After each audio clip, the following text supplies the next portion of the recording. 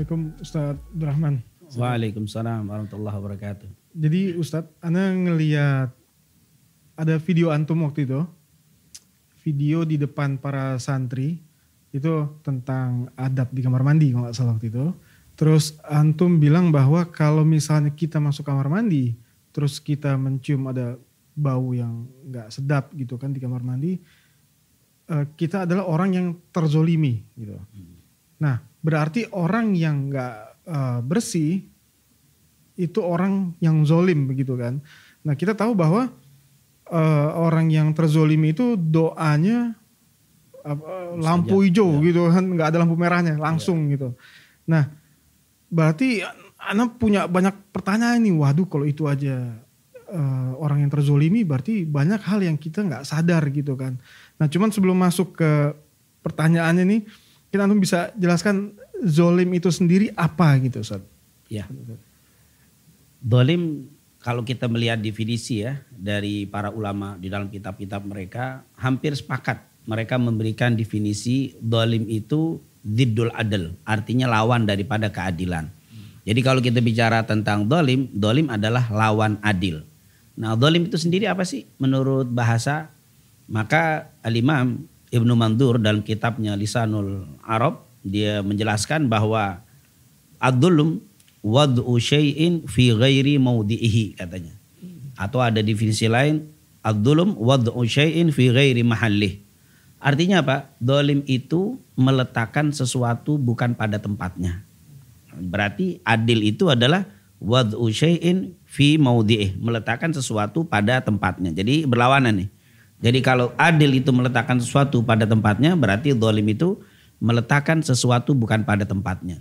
Berarti ketika kita maaf meletakkan gelas di bawah ubin, maka itu adalah dolim. Pada tempatnya itu Bukan bukan pada di situ, tempatnya. bukan pada tempatnya. Ah. Jadi definisi umum. Tiba-tiba kita letakkan maaf peci kita nih, kufiah kita, kita taruh di bawah kaki, ini dolim. Meletakkan sesuatu mestinya ini di sini. Hmm. Atau ada orang mungkin sendalnya ditaruh di Kepala. Kepala itu dolim namanya. Meletakkan sesuatu bukan pada tempatnya. Nah, itu secara bahasa. Jadi apa pun definisi yang menerjemahkan kata-kata dolim pasti kembali kepada tadi. Meletakkan sesuatu bukan pada tempatnya. Itu secara bahasa. Nah, ber- eh, cuman kan maksudnya ada ada zolim yang yang kecil gitu, kayak tadi masalah Betul. sendal itu. Tapi ada zolim yang memang Sangat besar. besar. Nah, a- apa ada memang tingkatan-tingkatan zolim gitu, level-levelnya zolim itu? Betul. Jadi memang ada tingkatan. Kalau kita lihat dari penjelasan para ulama, tingkatan dolim itu ada yang besar, ada yang sedang, ada yang kecil. Mungkin ada juga dolim tidak mengandung dosa misalkan. Ah, Nah, ini dolim tapi tidak mengandung dosa. Misalkan meletakkan gelas atau baju atau sepatu di tempat di atas lemari bukan tempatnya itu dolim juga. Tapi tentunya dolim itu tidak mengandung apa? Mengandung perbuatan dosa yang tercela. Tapi kurang bagus. Nah, tapi ada nanti kalau berkaitan dengan hal-hal yang mempengaruhi dengan makhluk lain itu akan ada kedoliman yang berbeda. Oleh karena itu para ulama membagi dolim menjadi tiga. Yang pertama dolim yang paling besar dolim kepada Allah. oh iya. Tentunya dolim kepada Allah nanti kepada Rasul dan seterusnya. Yang kedua, dolim kepada makhluknya. Baru dolim kepada diri sendiri. Nah, ini adalah tingkatan. Nah, dolim kepada Allah ini dolim yang paling besar. Apa sih dolim kepada Allah? Ya seperti definisi tadi. Meletakkan sesuatu bukan pada tempatnya. Ketika kita katakan Allah punya anak, itu sudah dolim. Karena meletakkan sesuatu bukan pada tempatnya. Oh iya. Kan sudah kita pahami dalam Al-Quran. Kul huwallahu ahad. Allahu samad. Lam yalid wa lam yulad. Nah ketika kita katakan dia punya anak atau beranak berarti zalim. Oleh karena itu di dalam Al-Quran. Allah SWT menceritakan tentang surat Luqman itu ya. Wa idh qala Luqmanu libnihi ya bunayya la tusyrik billah inna syirka ladulmun azim. Hai anakku kata Luqman, jangan engkau mensekutukan Allah, jangan engkau musyrik kepada Allah. Kenapa? Karena kemusyrikan itu adalah kedoliman yang paling besar. Berarti dolim itu. Oh, meletakkan yang paling besar. Inna dul dikata inna syirka ladulmun adim. Sesungguhnya musyrik atau memusyrikan mensekutukan Allah ladulmun adim. Kedoliman yang sangat besar. Nah, berarti ini kenapa? Karena kedoliman kita kepada Allah. Maka tentunya kepada siapa kita berlaku dolim itu akan berpengaruh. Besarnya tingkatan dolim. Atau kita dolim kepada Nabi. Oh, sangat besar juga. Kita katakan Nabi itu majnun seperti orang-orang jahiliyah dulu ya. Iya. Jahiliyah bilang Nabi itu sahir, Nabi tukang sihir. Nah, Ini dolim. Dolimnya besar. Nah ini jadi tingkatan dolim yang paling besar kepada Allah. Makanya Allah bilang apa dalam Al-Quran? Inna Allah la yaghfiru ayyushraka wa yaghfiru maduna dhalik. Allah tidak akan memberikan ampunan kepada orang yang melakukan kemusyrikan dan memberikan ampunan kepada hambanya selain dosa kemusyrikan. Nah, karena kedoliman besar itu, makanya Allah tidak akan berikan ampunan kepada mereka. Ini dolim yang paling tinggi, yang paling besar. Nah yang kedua, dolim kepada makhluk itu juga besar. Tentunya makhluk ini dilihat siapa yang kita dolimi. Ketika kita berlaku dolim kepada hewan, dosa. Berlaku dolim kepada hewan, dosa itu. Makanya dalam hadis Rasulullah SAW, ketika engkau belajar memanah, janganlah atau kalau mungkin sekarang belajar menembak, janganlah engkau jadikan apa makhluk hidup sebagai sasaran. Itu dolim. Kita belajar misalnya nembak Langsung ke hewan gitu. ke hewan. Itu dolim, itu namanya apa? Dolim kepada makhluk. Atau mungkin pernah dengar cerita yang sangat menarik. Waktu itu Rasulullah SAW sedang naik unta bersama dengan para sahabat di antaranya Abdullah bin Umar. Kemudian Rasulullah SAW berhenti di tempat ini ingin mendirikan sholat. Sebelum itu kata Rasul turunkan barang-barang yang ada di atas unta. Kata Abdullah bin Umar, kenapa ya Rasulullah kita hanya sholat sebentar? Setelah itu kita berangkat lagi jadi nggak turun naik ini barang kan capek nurunin barang. Kata Rasulullah SAW jangan. Kita sedang dalam keadaan nikmat beribadah kepada Allah, tapi hewan kita kena kedoliman kita menahan apa beban barang tadi. Boleh jadi doa kita tidak dikabulkan karena ada kedoliman yang kita lakukan terhadap hewan. Ternyata dilarang sama Nabi Muhammad SAW. Oh, sangat banyak sekali. Bahkan Nabi bilang, la tu'adzibu bi'adabillah waktu cerita Abdullah bin Mas'ud. Rasulullah waktu berjalan dengan Abdullah bin Mas'ud ada melihat eh, sekumpulan nyaha semut. Semut yang banyak tapi sudah hangus dibakar. Jadi ternyata itu sudah dibakar sama orang semut. Rasul bilang, jangan engkau menyiksa dengan siksaan miliknya Allah. Membakar itu adalah miliknya Allah. Artinya kedoliman. Tidak boleh. Subhanallah. Dolim kepada hewan itu tidak boleh. Bahkan hadis sahih Bukhari Muslim dari Aisyah.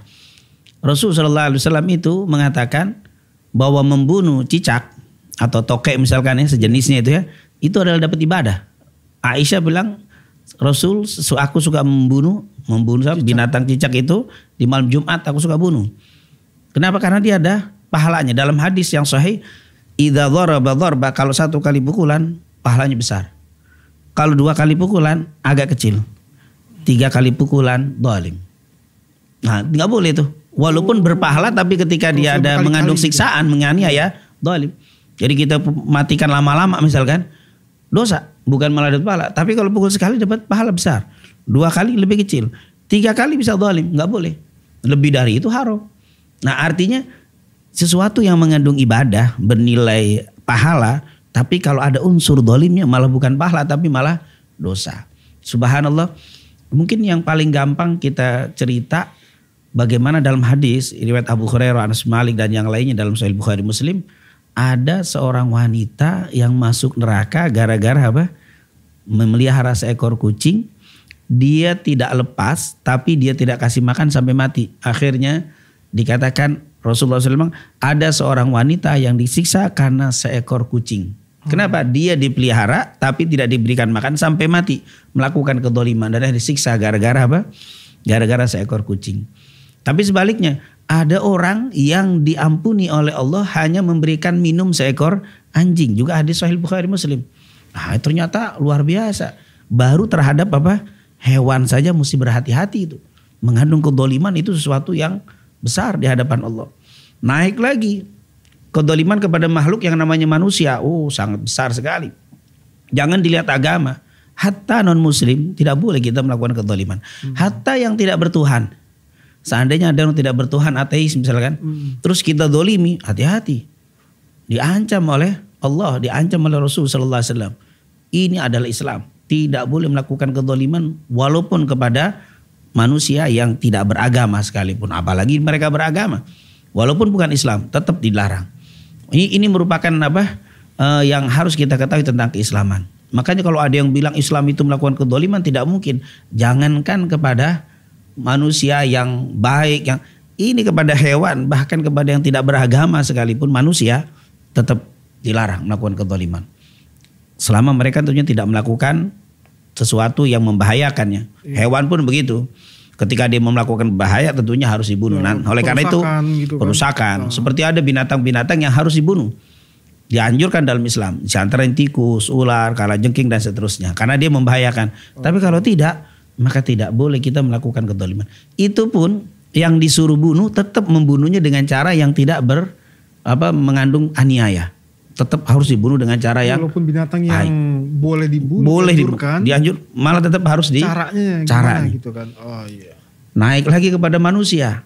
Apalagi nanti kepada manusia yang baik, apalagi manusia yang muslim, yang soleh, yang mukmin, tambah lagi, tambah lagi. Kita menganiaya orang muslim biasa yang kadang sholat kadang tidak, dosa. Kita menganiaya melakukan melakukan melakukan kedoliman terhadap orang yang soleh, tambah besar dosanya. Melakukan kedoliman terhadap para kekasihnya Allah, tambah besar lagi. Melakukan kedoliman kepada para nabi jelas. Semakin besar semakin besar. Jadi jadi kata-kata dolim itu tidak satu derajat ya tidak satu ukuran tidak satu dosa tapi berbeda-beda nah itu namanya dolim yang kedua dolim kepada makhluk jadi dolim kepada Allah dolim kepada makhluk makhluk di sini binatang kemudian apa manusia kemudian juga orang muslim Tumbuhan orang soleh dan seterusnya tumbuhan kena Ya, semuanya oleh karena itu kata Abdullah bin Abbas, kita tidak boleh menebang, tidak boleh menebang pohon, Hmm. kecuali pohon itu berbahaya. Ini kalau nggak terbang ini berbahaya untuk apa? Iya. Menimpa orang lain atau menimpa rumah dan seterusnya, atau mengganggu. Tidak berbahaya tapi mengganggu orang jalan, tebang dia. Karena itu mengganggu. Nah ini mengganggu mungkin mengganggu pandangan yang berbahaya atau mengganggu orang lewat, tebang. Kalau tidak biarkan. Kenapa? Karena Al-Quran sudah mengatakan dalam surat As-Saff. Allah subhanahu wa ta'ala di ayat yang pertama. Sabbahalillahi ma fis samawati wa ma fil ard wa huwal azizul hakim. Bertasbih apa yang ada di langit dan yang ada di bumi. Berarti pepohonan itu juga bertasbih. Atau baca surat Al-Jumu'ah. Dia juga yang pertama. Yusabbihu lillahi ma fis samawati wa ma fil ardil malikil kudusil azizil hakim. Bertasbih semua ini. Terus menerus tidak pernah berhenti ini pepohonan. Jadi ketika pohon itu kita tebang, maka menghentikan makhluk yang bertasbih kepada Allah Subhanahu wa taala. Mungkin ada hadis yang sahih sekali, Bukhari Muslim dari Abdullah bin Abbas. Nabi pernah itu lagi sedang jalan dengan para sahabat, di antaranya Bilal juga ada di situ. Lalu Rasulullah SAW melewati dua kuburan, dua kuburan. Lalu Nabi berhenti. Hatta gum- sampai bajunya itu bergetar, baju bergetar. Bilal, Abdullah bin Abbas dan yang lainnya bertanya, Ma'asabak ya Rasul, apa yang menimpa kamu ya Rasul? Kok sampainya ada sesuatu yang besar sampai apa bajumu itu bergerak? Karena memang ada sesuatu yang besar. Maka Rasulullah SAW mengatakan, ini dengan hadis yang riwayat Imam Muslim, hadani rajulani yu'adzabani fi kuburihima bi'adzabin syadidin bidan bin hayyin. Ini dua orang ini sekarang yang aku lihat ini kuburan dua-duanya laki-laki kata Rasul. Padahal tidak ada nisan, tidak ada pada zaman Rasul tidak ada batu nisannya, jadi tidak tahu. Kalau sekarang kita tahu itu laki perempuan karena ada tulisan apa? Almarhum, almarhumah, ini ketahuan. Kalau ini tidak ada. Hadani rajulan, ini dua orang laki-laki. Yu'adzaban saat ini sedang disiksa bi'adzabin syadid dengan siksa yang sangat berat. Bidan bin hayyin karena dosa yang sangat kecil atau dosa yang dianggap kecil. Lalu Rasulullah nunjuk yang satu. Amma hada yang satu ini karena la yastatiru minal baul. Riwayat Imam Bukhari la yastatir. Artinya tidak menutup ketika buang air kecil. Nah saat buang air kecil dia terbuka saja ngablak aja di depan umum. Pintunya. Oh, Pintunya maksudnya- dibuka atau di jalanan Oh, iya. sembarangan. Ini kena nih. Yang dalam riwayat Imam Muslim la yastanzih. Istinja tidak istinja. Ada yang menutup tapi tidak istinja. Kena juga. Atau dalam riwayat Abu Daud la yastabri. Istibra itu bersih. Oh. Intinya ini orang diadab di dalam kuburnya saat ini dengan adab yang berat karena menganggap remeh saat buang air kecil. Buang air kecil ini berbahaya sekali. Kata Abu Hurairah, dosa yang terbanyak orang disiksa di dalam kubur gara-gara buang air kecil. Nah ini luar biasa. Makanya kita dalam belajar fikih selalu ditekankan masalah apa istinja toharoh ini. Sangat penting. Nah amhada yang satu lagi ditunjuk sama Rasul. Yang ini Karena yu'dhin nas bilisanihi wa yamshi bainahum bin namimah. Ini orang suka menyakitin orang dengan lisannya. Kalau berjalan ke mana-mana suka apa mengadu domba, provokator nih. Ini provokator, ini provokator bahaya sekali nih. Ini adab. Ya yang jadi syahid yang menjadi pembicaraan kita fa'akhadan Nabi sallallahu alaihi wasallam jaridatan radbatan fasyaqqaha nisfain fagharaza fi kulli qabrin wahidatan minha. Nabi ngambil lepah korma. Kemudian dibelah dua, kemudian ditancapkan satu, ditancapkan satu lagi. Rasulullah nyobek tuh. Aha. Perhatikan ngambil, Iya. tapi lihat diambil ditancapkan. Sahabat bingung lihat Rasulullah begitu. Akhirnya bertanya mereka, "Ya Rasulullah, falian faudalik." Ya Rasul, apa ada manfaatnya itu pelepah korma ditaruh dua di situ satu-satu? Kata Rasulullah, "Na'am." Iya. La'allaha yukhaffifu anhuma ma lam yaibasa. Aku berharap ini bisa meringankan beban yang ada di dalam kubur selama basah. Ini dua daun ini masih basah, ini akan meringankan beban. Kenapa? Karena ini pelepah yang masih basah berzikir kepada Allah. Bertasbih kepada Allah, maka meringankan beban yang ada di dalam kubur. Subhanallah. Ini ini adalah apa dalil Bukhari Muslim. Abu Dawud, Turmudi sepakat seluruh ulama ahli hadis ini hadis merupakan hadis sahih. Ternyata memang pohon itu bertasbih. Nabi itu mengambil memotong itu ada manfaatnya. Tapi kalau kita ambil, kita buang, kita tebang, kita sembarangan, Sengaja gitu. ini dolim. Itu biarkan saja mereka bertasbih.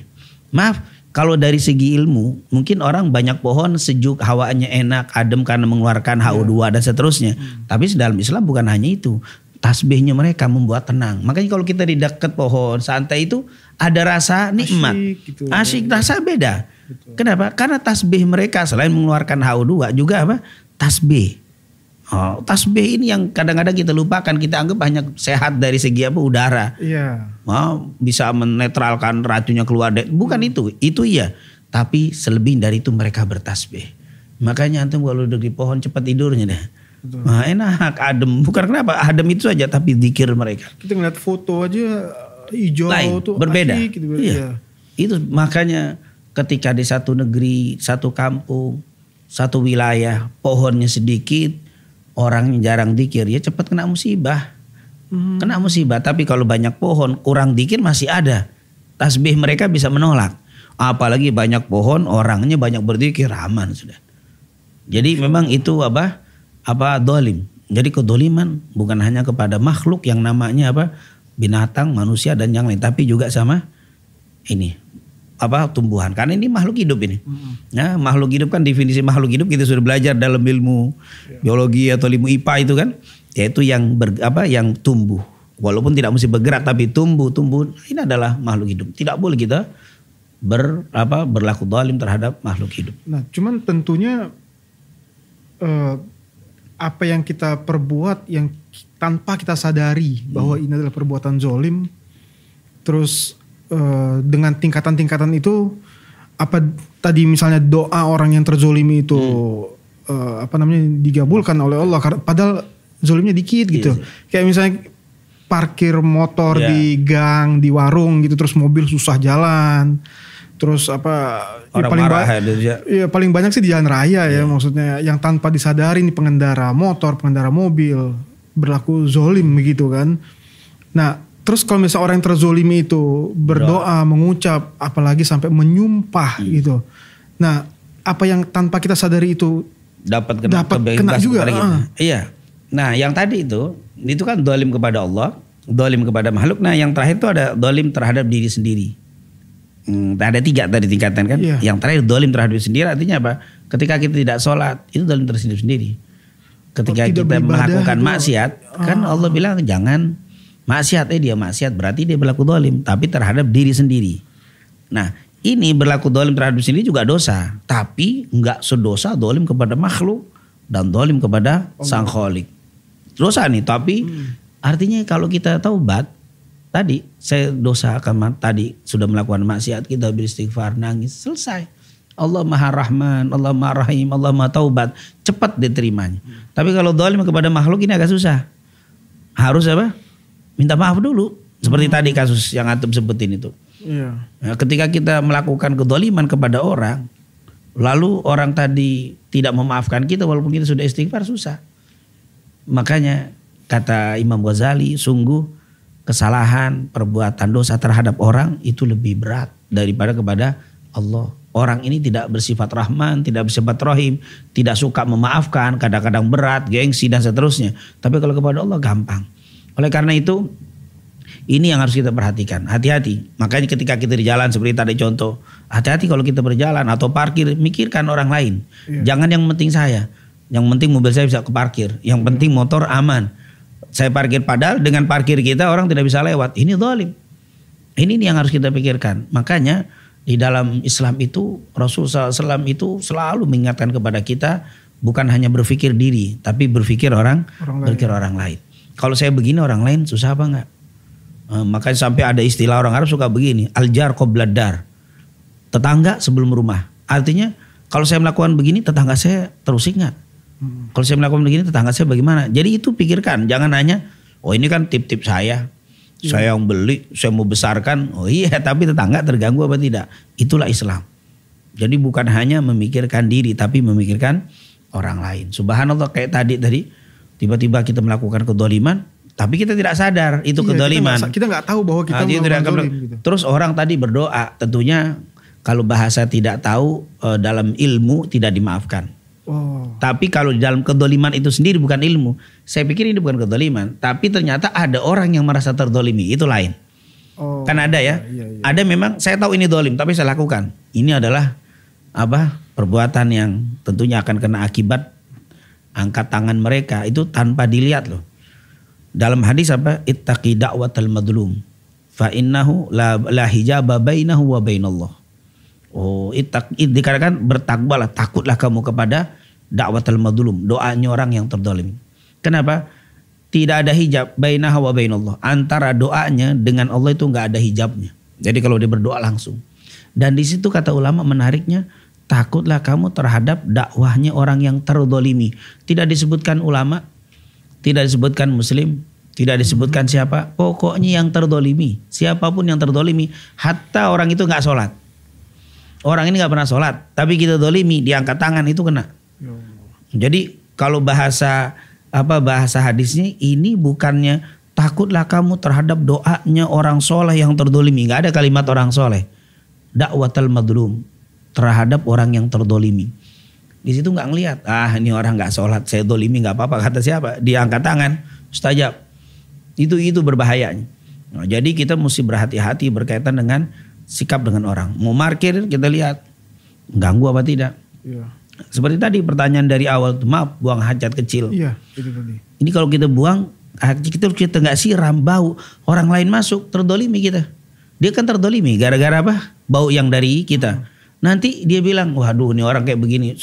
Kalau dia cuman hanya mengeluh begitu saja dah sabar, lalu dibersihkan. Kalau dia nggak sabar dia doakan, wah ini sumpahnya dia itu maaf walaupun dia nggak ahli ibadah orang biasa karena merasa terdolimi kena. Ya Allah. Nah ini ini yang berbahaya. Tetapi eh, kasus-kasus nggak semua kosa, tapi orang itu mendolimi fulan didoakan nggak kena kena. Ya tentunya ada beberapa kemungkinan. Yang pertama mungkin orang itu hanya merasa terdolimi aja. Jadi Oh, doanya ternyata nggak di- di kabul. ngerasa Ini aja dia merasa, terdolimi. padahal orang itu tidak berdol, tidak melakukan kedoliman. Ya kan, misalkan ini ada parkiran, memang ada tandanya saya masuk. Cuman karena orang ini baru belajar mungkin jadi apa? Susah. Wah, ini makin semangat. Padahal memang benar aturan ini disumpahin. Itu itu bukan dolim, memang merasa terdolimi tapi sebenarnya nggak didolimi. Iya, iya. Jadi banyak kasus begitu. Kita jalan mobil atau motor, tiba ini lama jalan sebentar kosong terus kita balap. Mungkin ini orang "Wah, kurang ajar merasa apa? Hmm. Terdolimi gitu atau merasa, merasa dia ngebut Iya. dibikin kaget terus didoakan biar celaka. Ternyata nggak celaka. Karena ini bukan emang apa? Karena memang bukan begitu. Dia justru yang apa? Dolim bahasanya. Bahasanya dolim. Di tol jalannya 30 40 ini ini dolim namanya. Kan kecepatannya kan artinya meletakkan sesuatu pada tempatnya. Mungkin di jalur macet itu tapi di jalur yang ah, ini tentunya tidak semua yang apa merasa kita disakiti itu itu rasa dolimi enggak. Kadang-kadang banyak orang yang merasa terdolimi. Sehingga doanya juga apa? Tidak kena. Karena enggak tidak didolim tapi hanya merasa. Atau yang kedua kenapa doa nggak dikabul? Boleh jadi itu orang memang dolim. Kita doakan tapi nggak kena. Tapi bukan berarti dia lolos dari apa? Yang kita doakan. Karena ada istilah di dalam agama itu namanya istidraj. Nah istidraj ini eh, kalimat yang sering kita dengar ya. Idza ra'aitullaha yu'til abda. Apabila engkau melihat Allah memberikan kepada seorang hamba ad-dunya wa ma yuhib. Dunia apa yang dia mau. Kalau engkau melihat seseorang diberikan oleh Allah terus dunia. Masalah dunia dia jabatan naik, uang kasih, usaha lancar terus. Wah wah sementara dia mukim ala ala dia kalau bahasa itu mukim ala ma'asih. Sementara dia yudim mendawamkan istri terus melakukan kemaksiatan. Dia dikabulkan semua hajat urusan dunianya dimudahkan Padahal kita lihat yudimu ala ma'asiyati. Maksiat terus. Hmm. Dolimin orang terus. Nyakitin orang terus begitu. Yeah. Tapi di luar gak kena-kena terus. Yeah. Dalika huwal istidraj. Terus itulah namanya istidraj. Disumpahin, didoain gak kena. Bukan berarti dia benar. Kalau kita lihat memang betul-betul apa? Saya betul-betul sudah terdolimi. Bukan merasa terdolimi. Tapi betul-betul terdolimi. Dan berkali-kali saya doakan dia gak kena-kena terus. Tidak ada akibat dari sumpah saya. Apakah gak diterima? Tidak. Karena Allah sudah berjanji bahwa doa orang yang terdolim itu pasti dikabulkan. Kok nggak dikabulkan? Mungkin ini orang terlalu banyak melakukan kedoliman. Kadang-kadang orang yang terlalu banyak melakukan kedoliman dikasih terus sama Allah istidraj namanya. Jadi terakhirnya seperti Fir'aun. Oh Fir'aun luar biasa kedolimannya. Yeah. Itu bunuh orang sembarangan nggak pakai macam-macam dia. Nggak suka sama orang main bunuh. Pernah dia membunuh semua bayi laki-laki yang apa? Yang lahir. Karena khawatir akan menjadi pemberontak untuk dirinya. Dibunuh semuanya. Terus dia nggak pernah sakit. Tetap berkuasa. Berkuasa dan tidak pernah sakit. Nambah, iya betul. Walaupun bahasa kita pusing aja nggak pernah. Pusing aja nggak pernah. Sakit perut mulut sedikit nggak pernah deh. Betul-betul nggak pernah sakit. Padahal Bani Israel sudah mendoakan berkali-kali. Sumpah nggak bisa. Itu, itu itu bukan berarti dia benar, bukan dia tidak dolim, tapi dia dolim, tapi karena kelebihan terlalu banyak, kadang-kadang Allah istirahat.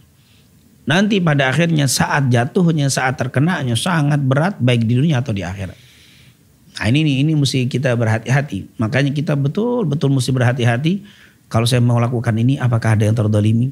Apakah ada orang yang disakiti? Apakah ada yang merasa terkena gangguan dengan apa yang saya lakukan? Terus dipikirkan. Bukan hanya yang penting apa? Saya enak, yang penting ya, saya mau. Ini mesti berhati-hati. Begitu dia zolim, dia nggak ngeras seperti Firaun tadi, malah bahayanya terus berbuat terus. dolim gitu ya. kan. Karena dikasih istirahat jadi, istirahat jadi. Karena dikasih terus. Jadi dia merasa merasa benar. Merasa benar. Justru itu menunjukkan murkanya Allah Subhanahu wa taala. Jika semakin semakin semakin semakin jauh. Nah, terus uh, itu tadi kalau misalnya uh, apa namanya benar-benar memang kita dizolimi gitu sama orang uh, uh, bukan kita menzolimi orang hmm. yang kita nggak tahu tapi, tapi ini benar kita zolim, zolim gitu. Betul. Hmm. Jadi kayak kita tahu nih eh, kita parkir nggak boleh kita paralel di sini yeah. karena orang mau keluar. Yeah. Kita parkir aja nggak kita mau sebentar gitu. Hmm. Padahal, padahal waktu kita keluar nih orang mau keluar mau gitu bisa. kan. Padahal yeah. kita cuma sebentar tapi dia udah sakit hati gitu. Nah itu gimana caranya? Apa namanya terus tiba-tiba uh, udah selesai, eh kita nih zolim nih. Tapi kita mau minta maaf siapa ini orangnya kita nggak tahu. Itu gimana Ustaz? Iya, memang itulah kesulitannya. Yang pertama tentunya orang yang disakiti, misalkan tadi ya berdoa misalkan, yeah. bisa kabul, kabul. Tapi doanya juga sesuai dengan kedoliman. Kedoliman kan sebentar, hanya naruh apa? Sebentar mungkin yang tadinya mesti dia keluar akhirnya terlambat setengah jam gara-gara ini. Ya, karena anak pernah ini di melakukan di, seperti itu kejadian kejadian. Deh, ya, hmm. jadi ada apa ada orang parkir begitu dia mau sebentar aja ini nggak bisa keluar.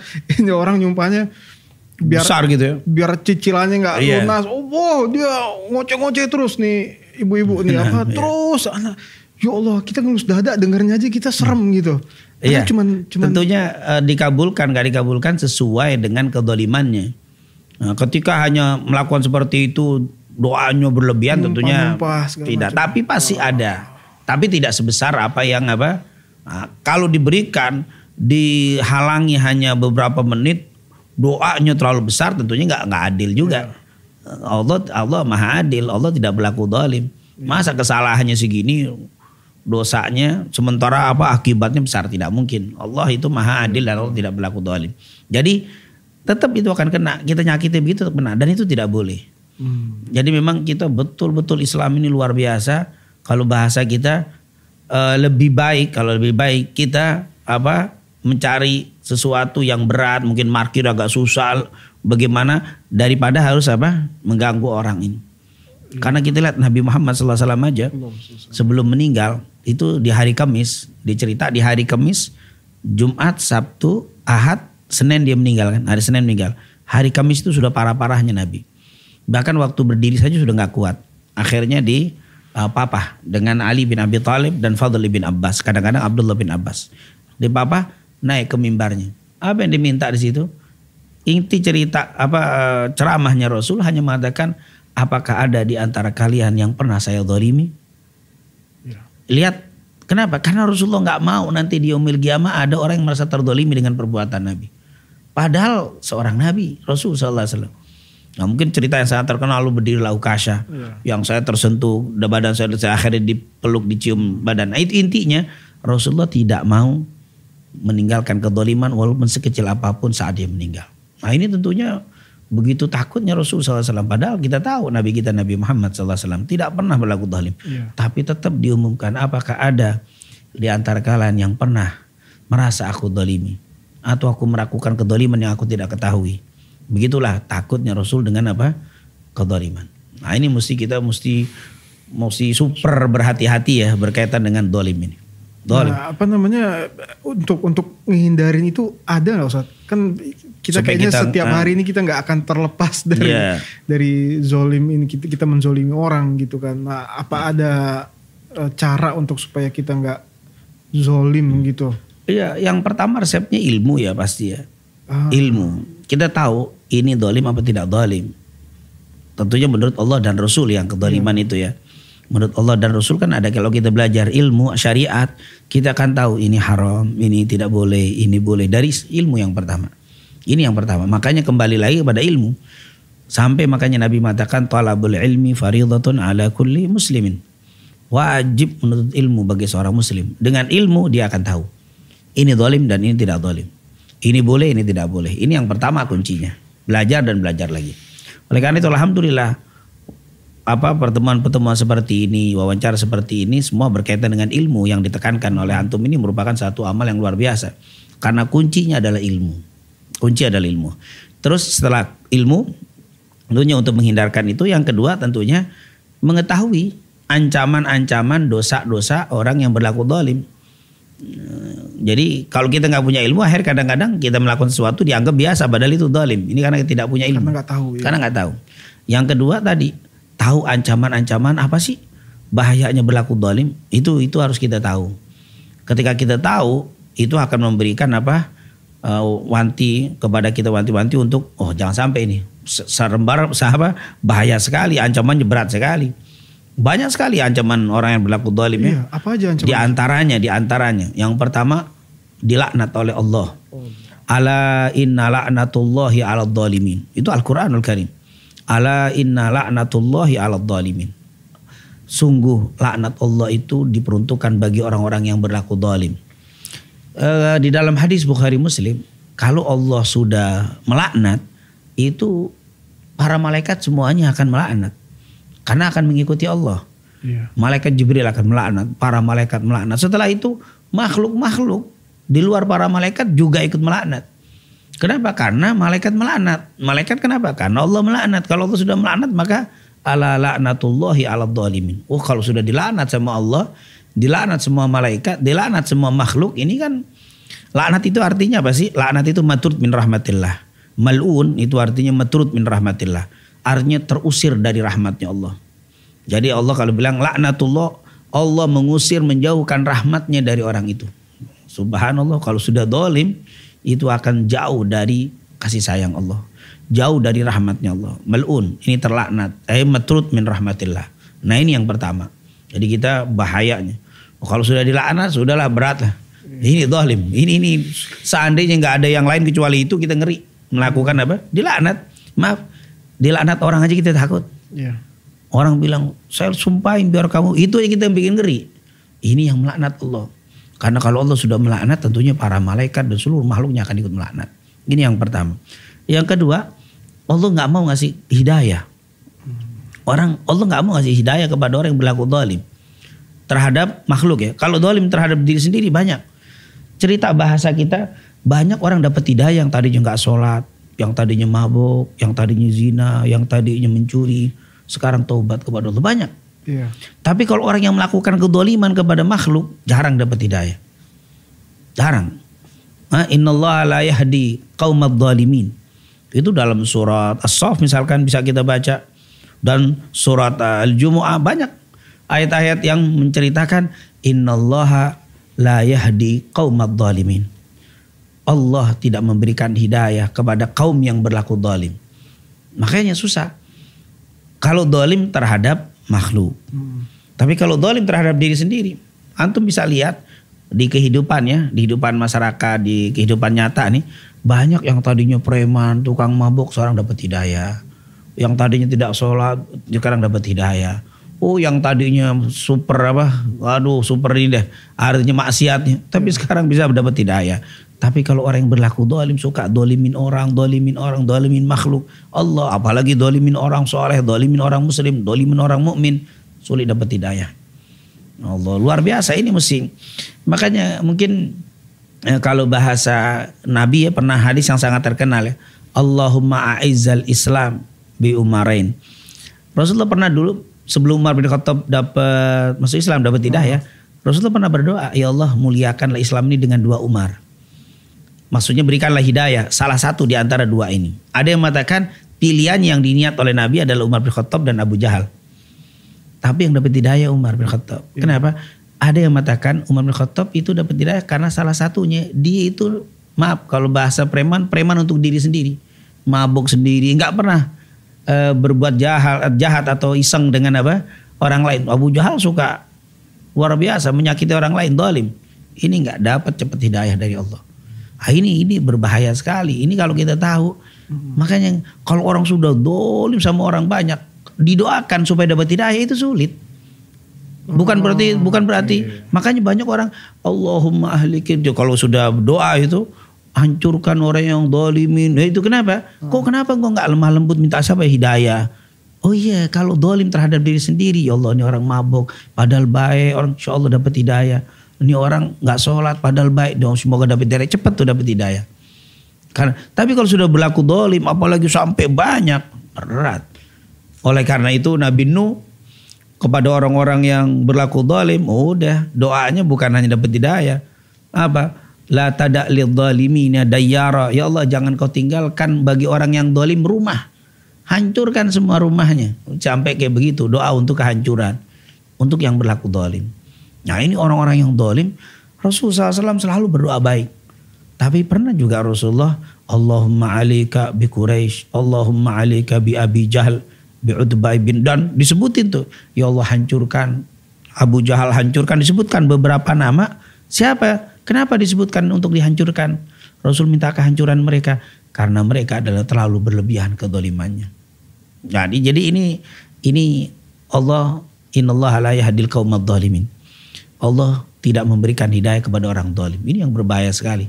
Nah, ini jadi yang pertama laknat, yang kedua sulit dapat hidayah. Hmm. Uh, bukan berarti uh, tidak ada sama sekali ya, ada, tetapi kebanyakan. Sebagian besar kalau orang sudah kedoliman terlalu berlebihan maka Allah tidak memberikan hidayah kepada mereka. Ini yang susah. Baliknya susah. Oh. Tinggal nunggu adabnya saja di dunia dan di akhirat. Ini yang berbahaya. Yang ketiga tentunya kita bahayanya dolim ini sangat banyak sekali ya baik dalam Quran dan juga dalam hadis. Yang ketiga di antaranya juga bahwa kedoliman itu akan membawa kegelapan. Ittaqud dzulma fa inna di fa inna dzulma dzulumatun yaumal qiyamah. Ittaqud dzulma takutlah kalian terhadap kedoliman. Fa inna dzulma karena kedoliman itu dzulumat yaumal qiyamah. Kegelapan bukan dulma tapi dulumat kegelapan-kegelapan di hari kiamat. Allah nanti orang yang melakukan kedoliman itu bukan hanya dapat satu kegelapan, tapi kegelapan-kegelapan. Artinya hal-hal yang sangat mengerikan nanti di umil kiamat dia bakal dapat. Ini orang-orang yang berlaku dolim. Oh tentunya kalau kita bacakan hadis sekitar 8 hadis yang menunjukkan bahwa begitu dahsyatnya ancaman bagi orang yang berlaku dolim. Bahkan Allah sendiri dalam hadis kursi diriwayatkan oleh alimah muslim Allah sendiri mengharamkan. Jadi biasanya kalau Allah nyuruh eh, dirikan sholat dan seterusnya. Ketika sesuatu yang besar, Allah nunjukkan dia melakukan juga seperti sholawat ya. Oh. Nah, ketika sholat, sholatlah kalian, puasalah kalian. Tapi giliran sholawat dia apa? Innallaha wa malaikatahu yusalluna ala nabi. Ya ayyuhalladzina amanu sallu. Sesungguhnya Allah dan para malaikat semua selalu bersolawat. Maka bersolawatlah kalian. Nah itu menunjukkan sholawat itu berarti perintah yang sangat apa? Besar ya. Karena dia sebelum menyuruh, sebelum memerintah, nunjukin bahwa dia sendiri apa? Bersolawat. Ya. Ini menunjukkan besar. Begitu juga berkaitan dengan dolim. Di hadis Qudsi Allah Subhanahu taala pernah berfirman, dikatakan inni haramtu ala nafsi ad-dulm. Inni haramtu dulma ala nafsi faja'altuhu bainakum muharraman fala tadhalamu. Lihat Allah nunjukin dulu. Inni haramtu dulma ala nafsi. Sungguh aku telah mengharamkan kedoliman terhadap diriku sendiri. Jadi Allah nunjukin Inni haram tu dulma ala nafsi. Aku mengharamkan dolim terhadap diriku sendiri. Faja'al tu bainakum muharraman. Aku jadikan perbuatan dolim ini adalah perbuatan yang haram. Fala tadolamu. Jangan kalian berlaku dolim. Allah nggak nyuruh langsung fala jangan kau berlaku dolim nggak begitu tapi dia nunjukkan apa sungguh aku mengharamkan kedoliman terhadap diriku sendiri maka hati-hati jangan kau berlaku dolim jangan kau berlaku dolim ini menunjukkan kedoliman itu sesuatu yang sangat apa besar sangat besar bahkan para ulama mengatakan dari kebaikan nanti di hari kiamat nih pertama kali yang dihisap adalah sholat Hmm, Jadi kalau cerita kebaikan yang pertama kali dihisap adalah ya. Ma yuhasabu bil abdu yaumil qiyamah salah. Kalau salatnya baik baik semuanya. Tapi dari keburukan yang pertama kali dihisap adalah dolim. Yang pertama kali dihisap adalah kedoliman. Nah, ini menunjukkan ibadah yang paling besar itu sholat, kemaksiatan yang paling besar adalah apa? Kedoliman. Oh sangat. Jadi yang pertama dihisap adalah dolim, kedoliman. Jadi jangan dianggap kecil kedoliman ini, walaupun kedoliman dengan apa makhluk yang kita lihat sepertinya kecil, tapi ini sangat besar di hadapan Allah Taala. Nah itu tentunya hanya sebagian saja. Kalau kita mau lihat nanti hadis lain bahwa nanti orang yang dolim ini akan mendapatkan ke ke pailit bangkrut.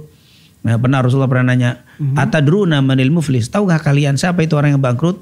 Para sahabat bilang yang bangkrut itu adalah orang yang bekerja dengan modal sekian, pada akhirnya modalnya nggak kembali, berarti bangkrut. Bukan hanya ini sudah habis, Pak. Bukan itu. Orang dari yang bangkrut min ummati dari umatku adalah man ya'ti yaumal qiyamah bi salatin wa qiyamin dan seterusnya. Siapa yang dari umatku datang di hari kiamat. Dia mendirikan sholat, dia mendirikan puasa, dia ibadah. Tetapi wa yashtumu hada, tapi dia suka mencaci ini. Wa yadribu hada, suka mukul ini, suka mendolimi ini. Maka nanti di hari kiamat Allah akan ambil pahalanya untuk diberikan kepada orang yang disakiti. Dulu dia suka mencaci, maka saat ini di hari kiamat gak dicaci lagi, tapi diambil kebaikannya dikasih kepada orang yang dicaci. Dulu dia suka mukulin ini secara zalim, diambil kebaikannya dikasih kepada orang yang dipukuli, dikasih. Ternyata setelah habis nggak ada lagi kebaikannya karena banyak melakukan kedoliman, maka nggak mungkin diambil keburukannya karena kebaikan sudah habis. Maka keburukan orang yang dicaci diambil dikasih kepada orang yang mencacinya. Dulu dia dipukul, dia punya dosa yang dipukul, dia ambil dosanya dikasih kepada yang memukulnya. Inilah bangkrut. Ini bangkrut. Bangkrut. Di situ bangkrut. Bukan bangkrut lagi apa itu namanya? Bukan pailit lagi sudah habis habis habisnya. Bangkrut abadi namanya. Apa ini? Sudah bukan hanya pahalanya habis tapi malah menambah dosa orang-orang yang didolimi. Itulah. Bagaimana mungkin orang berani melakukan kedoliman kalau dia tahu. Tapi sayangnya mereka tidak tahu. Ya. Dia pikir dengan melakukan kedoliman eh, dia bisa melakukan apa yang dia mau. Bahkan dia mungkin dengan puas dan ketawa ketika yang didolimi tidak bisa melawan. Padahal di sana ada sesuatu yang menunggu yang sangat mengerikan sekali. Oleh karena semoga Firaun tadi siapa siapa yang berani melawan Firaun kan gitu. Oh iya. Pada akhirnya dan memang kedoliman ini kalau ditunjukkan pada akhirnya itu sesuatu yang mengerikan bukan hanya di dunia. Di akhirat jelas, di dunia kadang ditunjukkan oleh Allah Subhanahu wa taala Sebagai contoh. sebagai contoh untuk ke depannya. Nah, eh, kalau untuk kita sebagai kita merasa dizolimi gitu Hmm. dan memang benar kita dizolimi gitu, ada aturannya nggak gitu saat kayak misalnya jangan nyumpah tapi doa Hmm. atau tadi kan antum bilang eh, jangan apa mudah-mudahan dapat hidayah. Padahal Allah menutup hidayah untuk orang-orang yang zolim eh, besar dan terang-terangan mungkin gitu. Nah itu a- a- apa yang kita mesti lakukan, Lakukan. kalau kita dizolimi gitu? Iya. Iya. Yang pertama berusaha untuk menghentikan kedoliman itu. Jadi kalau saudara kita mendolimi kita berusaha menghentikan kedoliman itu. Jangan kita ah kesempatan nih. Berarti pahala saya nanti akan bertambah di akhirat. Iya. Atau mungkin dosa saya akan dikurangin untuk dia. Jangan. Karena itu adalah saudara kita. Biar bagaimana adalah seseorang muslim apalagi. Rasulullah bilang unsur akhaka dhaliman au madluman. Tolonglah saudaramu yang telah melakukan kedoliman dan yang terdolimi. Berarti yang melakukan kedoliman disuruh Dua-duanya. dua-duanya. Sahabat bingung ya Rasulullah. Kalau yang terdolimi kita bisa selamatkan. Iya. Tapi yang mendolimi bagaimana caranya? Hentikan kedolimannya. Nah, berarti kita hentiin doliman itu. Yang pertama yang itu pertama ya. hentikan kedoliman kita. Bukan berarti terus dia dolim kita doakan saja. Enggak, hentikan dulu. Nah, tapi menghentikan kedoliman itu kan ada aturannya juga. Iya. Seperti diceritakan oleh Abu Musa al-Ash'ari hadis dalam hadis Sahih Muslim Rasulullah pernah bersabda, "Man ra'a minkum munkaran falyughayyirhu biyadihi, fa illam yastati fa bilisani, fa illam yastati fa biqalbi, wa dzalika adhaful iman." Man ra'a minkum munkaran, siapa yang diantarkan melihat sebuah kemungkaran, kedoliman itu kan munkar. Falyughayyirhu, maka rubahlah kemungkaran itu. Maksudnya hentikan. Biyadih. Kalau memang kamu punya kekuasaan, dengan kekuasaanmu. Kekuatan. Kalau nggak punya, fabilisane. Tegur, kasih tahu. Biar dia berhenti. Kalau nggak bisa juga, bib kalbih. Nolak dalam hati. Saya nggak terima kedoliman ini. Tapi nggak bisa berbuat. Dalika adhaful iman. Itulah iman yang terlemah. Jadi kalau ada orang ingin merubah kemungkaran dengan kekuatan yang dia punya, itu imannya bagus. Kalau dia nggak punya, dia lisan, dia bicara terus, bagus. Yang lemah justru yang hanya dalam hati. Lihat kemungkaran, ya Allah, saya ini dolim. Tapi saya nggak bisa berbuat apa aja dalam hati itu. Itu dolim. Apa itu? Itu munkar. Apa diingkari dengan hatinya. Tapi itu juga udah bagus. Setidaknya Ada aful iman. Hah? Nggak menerima. terima, iya. Nah ketika kita melihat kemungkaran tidak menerima, itu namanya ada aful iman. Imannya udah lemah. Tapi tetap ada imannya. Iya. Kalau dia ridho dengan kedoliman, hmm, Nah, iya, hati-hati iya, itu. iya. Kita tidak melakukan Dia tapi ridho seperti malah. melakukan. Iya. Itu ridho. Antum maksiat di depan anak. Hmm. Antum maksiat di depan kita, kita lihat. Saya ridho. Yang penting saya saya nggak apa-apa deh maksiat. Yang penting nggak saya kena itu. Ridho dengan kemaksiatan seperti bermaksiat. Ridho dengan kemungkaran seperti melakukan kemungkaran. Ridho dengan kedoliman berarti seperti melakukan kedoliman tadi. Walaupun dia tidak melakukan karena ridho. Iya. Nah, orang Islam tuh yang punya iman paling tidak tidak ridho dalam hati. Itu adalah selemah-lemahnya iman. Jadi yang pertama, kalau kita melihat orang mendolimi kita atau mendolimi orang yang pertama hentikan kedoliman itu. Jadi jangan dibiarkan, hentikan. Tapi ternyata hanya bisa di dalam hati. Maka sudah. Yang penting ada ketidakridhoan dalam hati. Terus yang kedua, maka bagaimana caranya? Saat itu kita berusaha. Kalau memang kita, maka kita berusaha untuk memaafkan. Itu yang dianjurkan oleh Rasulullah SAW. Memaafkan. Memaafkan dia. Kalau memang kita masih bisa, itu yang dianjurkan. Seperti Rasulullah SAW berapa kali didolimi. Ya, didolimi sama orang-orang musyrikin Quraisy. Di Taif coba bagaimana cerita belum lagi berdakwah sudah dilempari batu Rasulullah SAW sampai berdarah, sampai berdarah mukanya karena lemparan batu. Tapi dia maafkan. Nah ini tentunya luar biasa kedoliman. Ya, kita mungkin memaafkan dan mendoakan mungkin agak susah itu kelas Nabi memang gitu kan. Iya, betul. Nah, tapi paling tidak kita bisa menjadi eh, wali Allah lah. Wali Allah itu seperti apa? Dalam surat Al-Furqan ya kalau kita baca wa ibadur rahman alladzina yamshuna 'alal ardi hauna wa idza khatabahumul jahiluna qalu salama. Hamba-hamba Allah itu kalau berjalan di atas muka bumi dengan penuh tawadu, dengan penuh rendah hati, tidak sombong. Dan apabila ada yang mencaci, mencaci kan dolim nih. Iya. Dicaci, orang dia tidak salah dicaci, disakiti, qalu salama. Dia hanya mengatakan salama. Oh. Selamat. Sudahlah nggak dimaafkan aja. Nah, ini tentunya sudah tingkatan luar biasa itu. Ini kalau bisa. Nah, ini tentunya adalah tingkatannya. Tapi ketika dia nggak mampu untuk memaafkan, dia mendoakan keburukan, boleh. Mendoakan Ah, keburukan. Iya. Tapi mendoakan keburukan itu yang terakhir sebenarnya. Bukan langsung apa? Langsung, langsung, awal langsung enggak, dianjurkan dulu tentunya hentikan dulu kedoliman saudaramu itu nggak bisa juga yang kedua maka maafkan Kalau nggak bisa juga, kamu punya hak untuk apa? Bahkan menghibahnya saja nggak kena hukum dosa. Illa mendulim katanya dalam Al-Quran itu tidak boleh kita menginginkan keburukan dari seseorang kecuali orang yang didolimi. Hmm, Berarti ketika kita didolimi, saya doakan kecelakaan itu boleh. Dan itu memang sudah hak dikasih sama Allah. Nah, makanya kita biar hati-hati untuk tidak berlaku dolim gitu kan. Iya. Kalau semua nggak boleh berdoa keburukan, orang berlaku dolim saya enaknya nanti. Dia nggak mungkin doain saya kedoliman, eh, kehancuran karena nggak boleh dari Allah. Enggak, tidak dilarang. Illa mendulim. Siapa yang didolimi boleh mendoakan. Untuk apa? Kayak kayak misalnya eh, ini ada satu orang terlihat Masya Allah baik segala Hmm. macam tapi dia pernah menzolimi satu orang gitu. Terus orang ini menceritakan ke kita bahwa ini orang zolim karena begini-begini itu boleh jadi maksudnya nyeritain Hmm. Boleh. kezoliman Tapi gitu. iya. Tapi tujuannya untuk supaya kita yang pertama supaya antum terhindar dari kedoliman orang ini. Oke. Ada ada niat misalkan ini orang maaf pernah minta usaha sama saya cari modal misalkan. Iya. Ayo Pak Sat kita bikin usaha. Hmm. Baik kita naruh misalkan uang ke dia ternyata dia dolim dibawa lari. Iya. Si yang tidak ini tidak jujur. Terus ini orang saya lihat mau bekerja sama dengan antum datang mau ke tempat ah, boleh bilang jangan datang eh jangan diterima dia berlaku dolim. Begini begini. Boleh. Iya. tapi kalau tidak ada urusannya harus menceritakan tidak ada Nah, iya, itu manfaat tentunya. Tidak boleh. Jadi nggak nggak ada nggak ada hubungan sama tiba-tiba sekali mau cerita- ngapain cerita tentang dia? Gibah itu. Kena. C- Iya. seperti eh, ada cerita Fatimah binti Qais. Nah salah seorang sahabi ya datang ke Rasulullah SAW ya Rasulullah saya dilamar. Tapi belum diterima lamarannya oleh dua. Oleh dua sahabat ada disebutkan Muawiyah kemudian eh, Abu Jaham. Pokoknya ada dua sahabat ya saya nggak sebut namanya ada dua orang diminta sama dia. Terus bagaimana Rasul? Rasulullah cerita.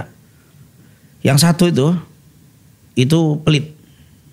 Disebut Oh, sama oke, Nabi. iya, yang satu itu bakhil. Dia kaya tapi mengenggam maksudnya pelit lah istilah bahasa ketika pelit. Ah. yang satu itu tidak meletakkan tongkatnya di pundaknya sendiri. Artinya suka mukul.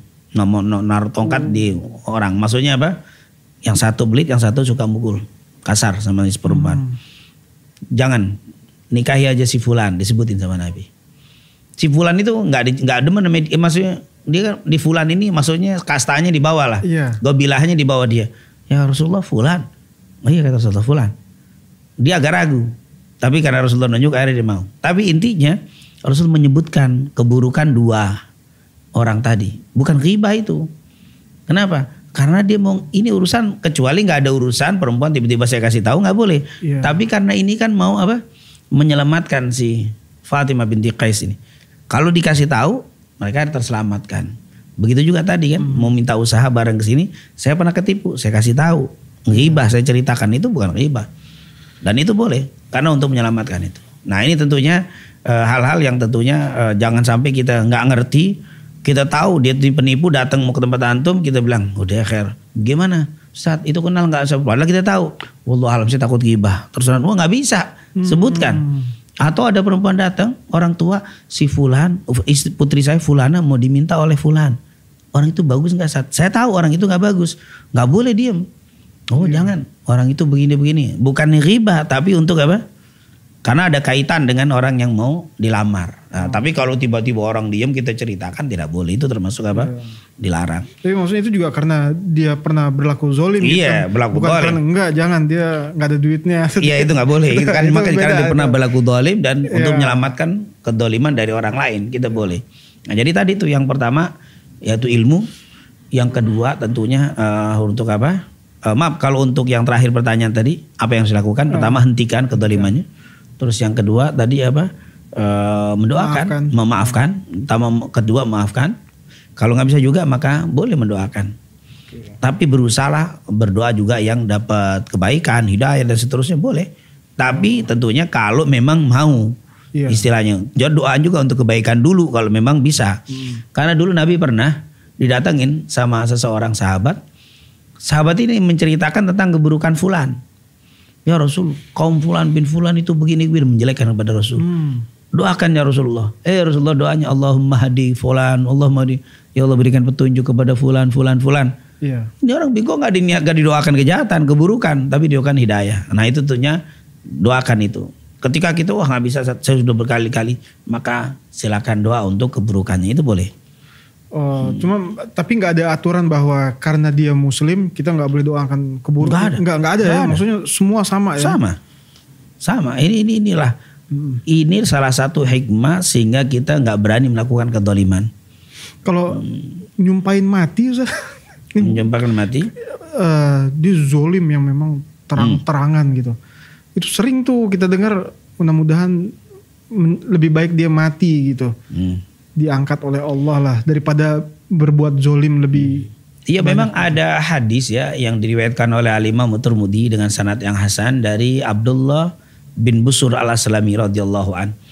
Kata Abdullah bin Busur al Aslami, qala qala Rasulullah SAW Rasulullah bersabda, khairun nas man tala umruhu wa hasuna amaluh. Wa syarr- wa syarrun nas man tala umruhu wa sa'a amaluh. Kata Rasul, sebaik-baik manusia adalah yang panjang umurnya dan baik amalnya. Ya, Dan seburuk-buruk manusia yang panjang umurnya tapi apa? buruk. Buruk amalnya. Berarti kalau kita sayang doakan mati biar nggak panjang-panjang umurnya mungkin. Nah, kalau semakin panjang dia jahat terus kan semakin apa? Semakin buruk. Iya. Jadi doakan itu biar ah, tentunya dapat hidayah. Iya. Kalau nggak dapat hidayah lebih baik meninggal. Dan itu yang benar. Makanya waktu Al-Imam Ibnu Jamal Kinani ketika menjawab men- men- apa, menjelaskan tentang adab sami wal mutakallim tentang adab belajar dan mengajar. Di situ ada salah satunya bahwa orang yang belajar bukan karena Allah, ria, Ah, maka kalau disayang sama Allah, dia belajar agama tapi nggak niat karena Allah. Kan khawatir ini. iya. Nah, maka kalau Allah sayang, dicepetin matinya. Cepat mati sehingga dia cepat meninggal. Sehingga dia nggak sempat dengan ilmunya membawa kejahatan. Tapi kalau Allah nggak sayang, dibiarkan jadi ulama su. Nah ini kan Ah, justru ketika dia mat, muda meninggal, mungkin boleh jadi itu lebih bagus daripada dia apa berlanjut karena belajarnya pengen cari dunia. eh, ria bukan karena Allah terus belajar tapi rajin akhirnya pan- pinter jadi alim akhirnya jadi ulama su berbahaya hmm. kalau Allah sayang dia meninggalkan dalam usia muda. Itu meninggal, meninggal tuh nggak selalu menunjukkan buruk. Iya. Boleh jadi bagi dia ini baiknya meninggal daripada apa? Daripada panjang umur terus apa? Iya. Keburukan. Bahaya. Eh, mungkin bisa juga dipetik dari cerita Nabi Khidir alaihi salam. Hmm, Waktu di perjalanan sama Nabi Musa, Hmm. kan ketemu anak kecil dah. Ketemu anak kecil yang perahu dibolongin, terus yang kedua apa rumah yang merubuh. Nah salah satunya kan anak kecil yang dicekek sampai mati. Hmm. Nabi Musa bingung. Khidir, atak tulu nafsan zakiyatan bighairi nafs. Apakah engkau bunuh seorang anak kecil yang bersih, zakiyah? Nafs zakiyah ini suci, zakiyah itu yang nggak punya dosa. Ini anak kecil masih bersih, nggak punya dosa. Apa engkau bunuh juga? Dibunuh sama Nabi Khidir. Iya. Bahkan kalau kita baca tafsir eh, para ulama ahli tafsir, bunuhnya itu ada yang dicekek sampai mati. Ini anak kecil yang bunuh Nabi lagi. Karena Nabi badannya kuat, dibunuh. Ada yang bilang dipegang, diambil batu, kemudian palanya dipukul sampai pecah. Artinya matinya serem gitu loh. Iya. Intinya dimatikan. Nabi Musa nanya, kok dibunuh? Ini kan nafs zakiyah. Ini jiwa yang masih bersih. Mungkin kalau penjahat dibunuh masih ini orang anak kecil. Nabi Khidir bilang apa? Setelah menjadi tangan panjang, Nabi Khidir bilang, Allah ngasih tahu saya bahwa ini anak punya orang tua soleh, dua-duanya, bapak ibunya soleh, dan sangat sayang sama anak ini. Anak ini besarnya menjadi penjahat. Hmm. Bahkan dia ini anak jadi kafir. Nanti dia akan mengajak orang tua jadi kafir dan orang tuanya jadi kafir gara-gara nih anak. Karena sayangnya dan pinternya anak nanti. Makanya Allah perintahkan karena sayang sama orang tuanya, sayang sama anak ini dibunuh saat ini juga. Matinya berarti kan bagus. Iya. Dia mati, matinya su- suci. Iya. Belum punya dosa sama sekali. Sementara bapak ibunya selamat agamanya. Tapi kalau ini dibiarkan besar, dia membawa kekafiran, membawa kemaksiatan kepada orang tuanya dan diri sendiri. Akan kena siksa tiga-tiganya. Allah sayang dimatiin. Berarti setiap nggak setiap kematian itu sesuatu yang apa doa Yang buruk. buruk, ya. Ternyata ada doa yang apa? Yang juga ada. Mungkin dia ngelihat ini orang sudah terlalu apa? Luar biasa nih. Hmm. Ah, kedolimannya akhirnya didoakan seperti itu. Dan itu sesuatu nggak selalu nggak selalu buruk ya. Iya. Nah, selalu tapi doanya pasti nggak langsung melakukan satu kedoliman mati ya kan? Nggak begitu kan? Pasti apa? Setelah didoakan hidayah tapi nggak berubah. Nah akhirnya pada minta seperti itu, itu sesuatu yang wajar, nggak sesuatu yang hmm, apa bertentangan gitu tidak.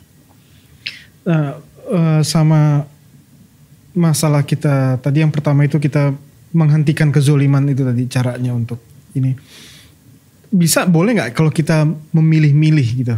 Dia ah yang ini eh, nggak uh, deh kayaknya repot gitu. Nah. dia mendingan yang yang ini aja deh dakwahnya ini apa dia mau menghentikan kezolimannya dengan cara yang begini gitu misalnya cara lain gitu yang lebih ringan gitu mungkin. Karena bukan dia nggak mampu tapi karena dia nggak mau resiko. Iya repot nggak nggak mau resiko resikonya terlalu besar buat dia. Dengan dia yang ini lagi yang yang lain gitu dia iya. menghentikannya. Iya memang e, di dalam berdakwah juga memang ada metode ya hmm. Oh, metode yang pertama metode itu berbeda-beda antara dai satu dengan dai yang lain hmm. tidak harus sama berbeda dengan Nabi Muhammad SAW hmm. Nabi Muhammad itu alinsan manusia yang kamil yang sempurna Rasulullah SAW semua metode ada di Nabi Muhammad tapi umat Nabi ini berbeda-beda, nggak mampu seperti Rasul SAW. Tidak ada yang mampu seperti Rasul. Makanya ada satu sisi dai yang model dakwahnya dengan cara lemah lembut. Itu itu adalah sisi Rasul SAW. Ya. Rasulullah itu laqad ja'akum rasulun min anfusikum azizun alaihi ma anitum harisun alaikum bil mu'minin raufur rahim. Ada Rasul SAW. Lemah lembut dakwahnya Nabi. Bagaimana tidak lemah lembut kalau kita baca secara Rasul SAW. Tidak ada manusia yang lebih lemah lembut dakwahnya melebihi Nabi Muhammad. Begitu juga Nabi Musa dan nabi-nabi yang lainnya. Semuanya lemah lembut. Ada sisi lemah lembut. Ada juga yang berbicara misalkan dia hanya bicara tentang saya nggak mau bicara tentang uh, apa masalahnya macam-macam hanya saya bisa fokus sholat aja deh. Yeah. Saya baca sholat tuh di mana aja bahas sholat terus ngajak orang sholat terus bagus sisi-sisi dakwah. Tapi ada juga yang bicara tentang siasah Islamiyah, bicara tentang politik siasa, tapi ada namanya siasa Islami, ada bukannya bukan politik seperti uh, sekarang yang model siasa itu berbeda. Ya. Tapi intinya berbicara tentang kenegaraan, ada. Hmm. Dan itu ada sisi. Apakah ada Islam berbicara tentang negara? Oh iya jelas. Islam ini agama yang sempurna. Masa ma masalah istinja dibahas, masa masalah kenegaraan tidak dibahas? Ya. Istinja bahkan masalah menguap aja, uh, menguap itu dikasih tahu bagaimana cara nutupnya. Ya bangkis dibahas, masa giliran tata negara itu, itu ada. Hmm. Tapi ada orang yang berbicara itu siasa, berbicara tentang negara, bagus. Ada yang berbicara tentang ekonomi, hmm. keislaman, ada. Hmm. Semua. Ada juga yang selalu nyuruh kebaikan aja, akhlak, nyuruh akhlak, akhlak, yeah. bagus. Ada, ini ada Rasulullah SAW. Atau bicara tentang nahi mungkar. Kemungkaran fokus tentang kemungkaran ada.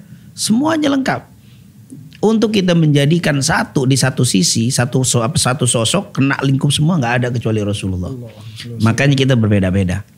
Tapi Nabi sudah mengatakan dalam hadisnya al muslim lil muslim kal bunyan atau al mu'min lil mu'min kal bunyan yashuddu ba'duha ba'dha. Orang mukmin dengan orang mukmin yang lainnya itu seperti bangunan. Yang satu dengan lainnya saling menopang. Kita punya bangunan ini ada tiang tengah, pojok kanan kiri untuk menjaga yang di atas. Itulah dakwah dengan bermacam-macam tapi tujuannya satu menguatkan Islam. Hmm. Itu orang muslim. Al mu'min lil mu'min kal bunyan yashuddu ba'daha ba'dha. Kalau ini kita buang, ini akan pincang. Yeah. Satu saja satu ini akan pincang. Makanya dibikin luar biasa. Makanya kita ini hebat Islam ini. Ketika ngelihat ada orang yang model begini, ini cara-cara nggak boleh saya misalkan dakwanya lemah lembut, nggak boleh. Ngapain tuh orang ngajarin sholat aja yang penting akhlak, nggak bisa begitu. Ya. Ada yang berfokus kepada tauhid, bagus. Fokus tentang itu adalah ke, apa kesempurnaan Islam. Oleh karena itu kita harus saling menjaga. Hmm. Makanya kalau ada sisi satu kurang-kurang itu biasa. Tidak ada yang sempurna kecuali Rasulullah Sallallahu Alaihi Wasallam. Makanya kalau kita ada seorang Muslim yang kurang, ya perhatian kita tentunya kita ajak mereka untuk kembali kepada kesempurnaan. Tapi sempurnanya bukan berarti bahasa kita itu apa yang dilakukan itu salah semua tidak. Mungkin ada satu sisi dua sisi salah iya wajar. Setiap kita pasti apa? Ada salahnya. Nah salahnya ini kalau ada saudara kita ngeliat kasih tahu ya. Begitu juga kalau saudara kita ada yang salah kita kasih tahu. Tapi bukan berarti selalu kita yang paling benar. Terus ya. yang lain apa? Ini yang cara Nabi. Yang lain tidak cara Nabi. Ini ini yang menjadi musibah ini. Ya. Jadi akhirnya mengklaim dirinya yang paling Nah, kalau bahasa kita yang paling nyunnah, ini yang paling sunnah, ini yang paling nabi. Selain ini tidak ahli sunnah atau oh tidak. Ini adalah cara-cara di dalam berdakwah Nabi Muhammad SAW. Bahkan dalam hadis lain Rasulullah bilang apa? Al muslim lil muslim kal jasadil wahid. Idashtaka minhu udwun tada asairu jasadihi bisahari wal humma. Orang muslim dengan orang muslim itu seperti apa? Satu badan. Hmm. Kalau ada yang sakit salah satu anggota tubuhnya, maka merianglah seluruh apa? Seluruh tubuh. Subhanallah, Rasulullah sudah begitu mewanti-wanti untuk menjaga apa? persaudaraan kita, ukhuwah kita. Makanya di sini kita harus saling melengkapi. Tidak boleh apa? Saling menyalahkan, saling menganggap diri yang paling betul. Masya Allah Ustaz. Nah ini yang terakhir nih Ustaz nih. Uh, tadi Antum bilang bahwa salah satunya untuk supaya mencegah kita berbuat zolim itu dengan ilmu. Hmm. Dan itu juga pernah Antum sebut di, pernah lihat di video Antum tentang perkataan Imam Syafi'i bahwa pemuda yang terbaik adalah kalau nggak salah pemuda yang terbaik adalah pemuda yang memiliki ilmu, ilmu. gitu. Nah mungkin Antum bisa lebih tekenin sedikit lagi di di masalah ilmu. ilmu karena kadang kita lihat juga banyak orang justru yang berilmu tapi malah lebih lebih apa lebih berbuat zolim gitu. Hmm. Jadi ilmu apa seperti apa sih gitu. Yeah. Banyak sekali ya uh, nasihat-nasihat Imam Syafi'i tentang ilmu di antaranya beliau pernah mengatakan apa isbir ala muril jafa min muallimin fa inna rusubal ilmi fi nafaratihi Wa man lam yaduk murrat ta'allumi sa'atan tajarra'a lahu dhullal jahli tula hayatihi. Wa dhatul fata wallahi bil ilmi wa tuqa idza lam yakuna la'tibara li dhatihi. Wa man fatahu ta'lim waqta syababihi fakabir alihi arba'an li wafatih. Itu adalah kutipan atau potongan dari syair Imam Syafi'i. Kata beliau, bersabarlah kamu atas pahit getirnya saat menuntut ilmu. Hmm. Karena kegagalan orang menuntut ilmu karena dia tidak mau merasakan pahit getirnya ilmu. Jadi nggak mau capek, gagal dia. Ya. Jadi memang menuntut ilmunya harus apa? Berat memang. Berat memang. Makanya kalau Imam Ali bilang ada enam syarat dan seterusnya itu disebutkan ya. Hmm. Kemudian waman lam yad walam waman lam yaduk eh, dikatakan murrat ta'allumi sa'atan siapa yang tidak pernah merasakan atau tidak mau merasakan capeknya menuntut ilmu sesaat dia akan merasakan kebodohan sepanjang umurnya. Hmm. Itu kata Imam Syafi'i. Nah, di situ kalimatnya wadatul fata wallahi bil ilmi wa tuqa idza lam yakuna la tibara lidati. Demi Allah, sebenar-benarnya pemuda adalah mereka yang berilmu dan bertakwa. Siapa yang tidak punya ilmu dan tidak punya takwa, maka dia bukan seorang pemuda. Terus ditutup dengan kalimat Waman fatahu ta'lim waktu syababi siapa yang masa mudanya dia tidak belajar fakabir alaihi arba'an liwafati. Takbirlah empat kali untuk kematiannya. Jadi dianggap apa? Muda ini nggak belajar, sudah dianggap mayit, sudah nggak ada manfaat nih. Nah, jadi ilmu itu sangat ditekankan dan memang tadi dengan ilmu kita akan tahu. Dengan ilmu kita akan tahu. Bahkan Rasul Shallallahu Alaihi Wasallam eh, diceritakan oleh Abdullah bin Abbas ketika Abdullah bin Abbas berada di rumah Maimunah radhiyallahu anha. Maimunah ini istrinya Rasul SAW. Waktu itu Nabi waktu di rumah Maimunah mau berwudu. Tiba-tiba air wudhunya sudah siap. Akhirnya ditanya sama Maimunah radhiyallahu anha. Siapa yang naruh air yang menyiapkan air wudhuku ini kata Rasul. Maimunah nunjuk itu Abdullah bin Abbas. Abdullah bin Abbas ini nanti punya ibu namanya Fadl, Ummu Fadl. Ummu Fadl ini adik kakak dengan Maimunah. Jadi dia ponakan uh, Maimunah radhiyallahu anha. Kata Maimunah itu Abdullah bin Abbas yang menyiapkan air wudhumu. Langsung Nabi Muhammad SAW berdoa untuk Abdullah bin Abbas. Doanya apa? Allahumma faqihu fid din wa alimhu ta'wil. Ya Allah, berikan pemahaman agama. Allahumma faqihu fid din. Ya Allah berikanlah pemahaman agama kepada Abdullah bin Abbas. Wa alimhu ta'wil dan ajarkan ilmu ta'wil atau ilmu tafsir. Nah, yang pertama itu diterjemahkan sebagai ilmu fikih. Hmm. Allahumma faqih.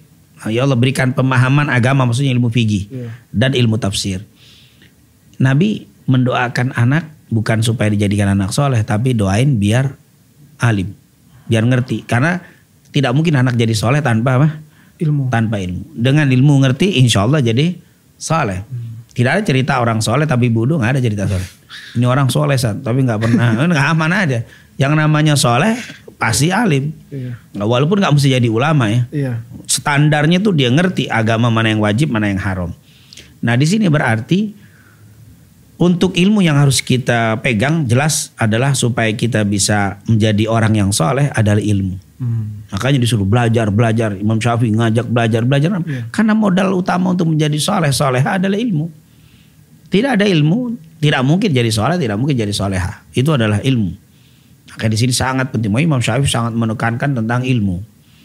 Ini terus yang kedua, ilmu apa yang harus kita pelajari nih supaya kita jadi soleh? Tentunya adalah yang pertama tauhid jelas. Ilmu tauhid ini jelas ya bahwa tentang ketauhidan kepada Allah. Tentunya kalau kita belajar ilmu tauhid nanti ada apa yang tauhid itu berkaitan dengan Allah itu ada yang rukun, ada yang wajib, tentunya ada yang tidak wajib untuk kita ketahui secara detail. Jadi cukup yang dasarnya aja. Makanya banyak ulama yang bilang kalau bicara tentang tauhid kepada Allah sudah standar aja, jangan terlalu detail. Iya. Nah, air detail tambah apa? Pusing. tambah pusing, tambah pusing akhirnya. Cukup. Yang penting kita tahu bahwa Allah itu yang telah menciptakan kita, menghidupkan kita, memberikan rezeki kepada kita dan dialah yang berhak untuk disembah. Tidak ada Tuhan kecuali Allah yang patut disembah dan sifat-sifat wajib, sifat-sifat sunnah yang seperti standar yang kita ketahui. Itu yang pertama tentunya tauhid. Karena kalimat fa'lam annahu la ilaha illallah. Itu kalimat Quran banyak. Ketahuilah bahwa tidak ada Tuhan kecuali Allah. Berarti kalimat tauhid itu harus. Iya. Kemudian yang kedua baru tentang syariat. Syariatnya penting. Tapi ilmu fikih. Eh, jangan kita bicara tentang yang jauh-jauh sementara fikihnya apa? Belum bisa. Nah, fikih ini adalah kunci. Makanya Nabi bilang Allahumma faqihu fid din wa alimut ta'wil. Fikih. Nah, ini tentunya kenapa? Karena dengan kita belajar fikih, kita pasti belajar Quran ya. Kalau belajar fikih pasti belajar hadis. Kenapa? Karena fikih itu hukum dan hukum itu bersumbernya dari Quran dan Hadis. hadis. Ini ini yang penting nih fikih. Nah, karena sekarang ini maaf nih, tidak sedikit orang fikihnya kurang tapi belajarnya masya Allah. Belajar misalkan masuk ke sekolah pesantren yang hanya hafid Quran saja tapi fikihnya nggak belajar. Ini ini bahaya. Iya. Jadi fikih harus. Tahfidz luar biasa, sangat bagus. Tapi jangan dilupakan fikih. Tidak sedikit ada orang yang hafal Quran, tapi waktu khutbah Jumat misalkan khotib naik dia bicara. Saya pernah ketemu di masjid, khotib sudah mulai khutbah, di sebelah saya lihat ada orang yang bicara. Ngobrol. Padahal dia saya tahu ini adalah hafidul Quran. Nah ini berarti kan nggak tahu fikih. Hanya hafat secara ini tentunya sesuatu yang tidak boleh. Iya. Ini yang pertama. Jadi tauhid ya, fikih harus. Ini fikih. Boleh cari di mana saja, ketemu ulama, ketemu orang-orang alim, kalau disuruh belajar pasti belajar fikih dulu. Jangan lupa belajar fikih karena fikih adalah kunci. Ini sholat kita semuanya, ibadah kita semuanya akan berantakan kalau kita nggak tahu fikih tentunya. Ini bab tohara dan sebagainya. Ini fikih yang harus. Dan kalau sudah jadi fikih baru jadi ulama. Kalau belum jadi fikih nggak bisa jadi ulama. Karena semua permasalahan itu adanya di fikih, hukum-hukum ya. Iya. Halal haram ini kan fikih semuanya. Betul. Nah, tentunya nanti kalau kita belajar fikih, ada keistimewaan belajar fikih, keistimewaan keistimewaan ilmu fikih. Yang pertama sumbernya dari Quran. Yang kedua sumbernya dari hadis, sumbernya.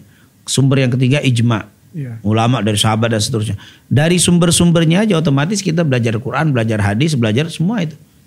Dan keistimewaan fikih fokus pembahasannya adalah amalan-amalan keseharian dari bangun tidur sampai mau tidur lagi. Sementara kita setiap hari mau tidur harus tahu apa itu. Di dalam belajar fikih juga ada akhlak. Di belajar fikih nanti ada akhlak juga. Jadi fikih ini adalah yang kedua yang harus kita pelajari. Maaf, kedoliman juga adanya ketemu dalam bab fikih. Iya.